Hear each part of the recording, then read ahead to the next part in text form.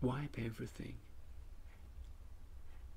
An Englishman's home is ever his castle, careful to maintain two meters from parcels.